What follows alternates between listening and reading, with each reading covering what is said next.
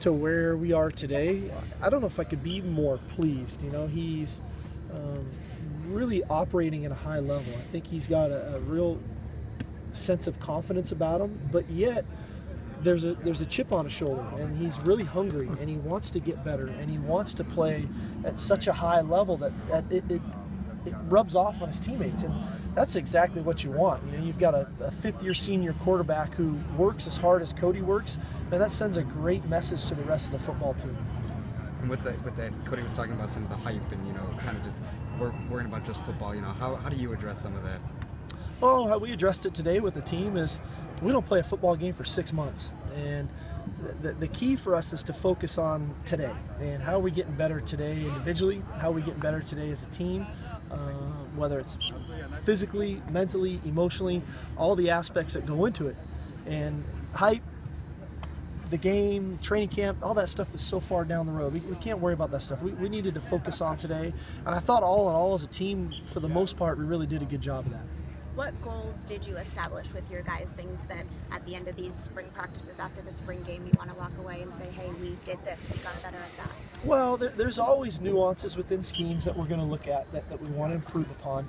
Um, you, know, uh, you know, obviously we're replacing some, some key players. Um, uh, with Leonard being gone, with Hayes being gone, with Buck being gone, uh, with Nelson being gone. I mean, some real J.R. Tavai, some really critical guys that we need to start to figure out who's going to fill those spots, who's going to fill those roles, and then ultimately our ability to finish. And you know, we're going to have a challenge at the end of every practice that, that, that really is going to exemplify the final two minutes of every game. And who can we count on? Who's going to be those guys that can make those plays at the most critical moments? And uh, the defense came out today. It was a best of five, and the defense won the first three plays and got off the field and, and won the game. So uh, hopefully that that idea of our ability to not only just be excited to take the field at the beginning of practice, but be at our best at the most critical moment at the end of practice. And that's something we're going to continue to work on. Is that something that you implemented as a result of some of the late game struggles? Without a doubt. season? Without a doubt. You know, you, you, as, a, as a staff and as a head coach, you, you, analyze every aspect of your program. And, you know, I, I look at a couple of really tough losses at the end of games on the last play of the game that had a huge impact on our season. You know, we win those two games, we're playing for a, a conference championship.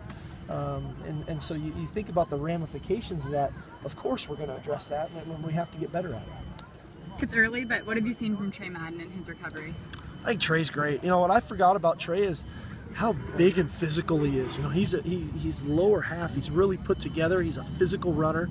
I think he and Justin complement each other really well because Justin has got such great speed and cutting ability, and then Tre's got such of a hammer mentality. I think they're going to be a great complement to one another.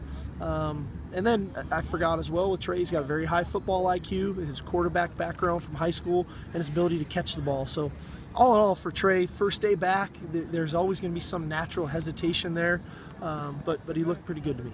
Where was Bryce Dixon today? Uh, Bryce is dealing with a student conduct issue. Um, how was some of the, the new guys that are Isaac Whitney, Yeah. How they've been doing? Well, I mean, it's day one.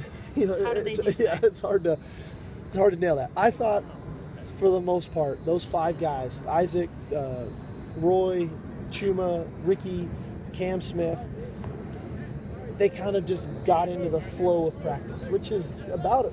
Is all you can really expect them to do in day one. They, they didn't, it didn't look too big for them. I thought they flashed in some areas. You know, Ricky made a couple throws. I thought Chuma had a couple really nice pass sets. Isaac made a couple plays down the field. Then they had their moments where they made it didn't know the play as well as they would have liked and whatnot. But all in all, first college practice for those five guys uh, I guess about as good as it could go. Do you have any further update on Bryce and his staying No, no, I don't. Not at this point. Steve, it looked like Anthony Starr really didn't do much. Yeah, today. Anthony's got a, a foot. I'm gonna just call it a foot injury for right now. We don't Okay. know all of the specifics yet, and so we're, we're being really cautious with it. Um, and so that was the reason we, we held him out. I don't know, Lamar looks like he's Yeah, you know. I, th- I guess if I could you know, point out uh, just a couple things that really stood out to me. Lamar was one of them. He, he seemed like a different player to me than what I had seen all of last year, from spring ball into, into training camp and into the season. He looks really confident. He's moving really sudden. Um, he's and, and we knew he had a good off-season conditioning program. You know, the winter conditioning. Um, and he came out today and, and looked like just a, really a different player. I, I was I was really encouraged by that. Uh, that that ju- that jumped out to me. Noticed Chris Hawkins was playing a lot of safety Yeah. today. Is that a long-term thing? Well, we're gonna we're gonna we're gonna dig into it here for a little while. We're, we have to give him a chance to kind of go through some of the growing pains there. You know, we we, we tinkered with it a little in bowl prep, and then it really wasn't fair to throw him into a game doing that stuff. So we're gonna give him a chance to kind of go through some of the growing pains at the position. You know, Chris's strength is his football IQ. He really gets the game, um, and we think him at safety that that's going to play to his strength even more. How about Steven Mitchell? What do you Yeah, say? Steven is another guy who had a really good winter conditioning. Um, he's put on about 10 pounds. He looks strong. Um, made, again, quite a bit of plays today.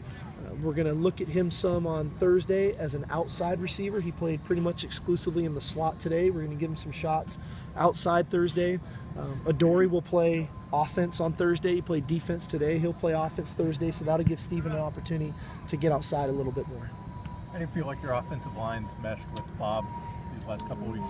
I, I think it's been really good. You know, what- Max is an awesome leader. You know, when your center is it played as much football as Max has played, and um, probably the benefit of it is Max is on his fourth offensive line coach in four years. You know, so uh, he's able to to really be a, a really to give a, a good perspective to the younger guys of accepting a new coach, and you, you just don't have time to to kind of wonder. You, you just here we go. You know, it's a new coach. The schemes haven't changed. The system hasn't changed. Let's let's get moving with it. And I think they've done really well. I, I'm excited about our offensive line. I really am. I mean, the depth that we have there um, is as good as I've seen here and, and anywhere I've been in, in a long time. And um, from our younger players to the vets to guys coming off of injury. Uh, you look, I mean, Jordan Simmons today, uh, Jordan Austin. You know, Nico Falah, I thought looked really good today. He's another guy who had a good winter conditioning, uh, you know, program and came out. He's looked as good as I've seen him. So, a lot of positives uh, up front. How about Damien Mama? It, it looked like he dropped a few pounds. Yeah, Damien's in great shape. Um, he's lost some weight. He looks quick. Um, he's still a very big human being, and when he gets his hands on you, he's got huge hands. Uh, he, he, you know, he kind of latches on. It's tough to get off his blocks, but I just think the confidence with Damien. You lose some weight, you've played some football, you become more confident. Same with Viane, uh, Toa. Um, you know, that that group's going to be good. I don't think just next year. I think for a while. I mean, that group's going to be really good for us. One more question, guys. With Wheeler being out for a while, will Toa, you know, pretty much be planted that left tackle? I think so. I I think that that's what we'll do. Um, you know, we're, we're, we're playing Nico over there as well. I mean, and Nico, like I said, looked really good. So we'll tinker with that some. Um, you know, I, I want to give Chuma a chance to kind of just develop at right tackle here for a little while. I, I think back to Winston Justice when Winston first came on board. We started him out at right tackle his first year and then moved him over. Um, so we'll, we'll see how Chuma does, but but all in all, I- we've just got good depth, you know, and so we're able to do that. But then we're also able to move some guys around to experiment with some things because the guy that's the number two isn't much different than the guy that's the number one right now, which is a real luxury that we have. Thanks, Coach.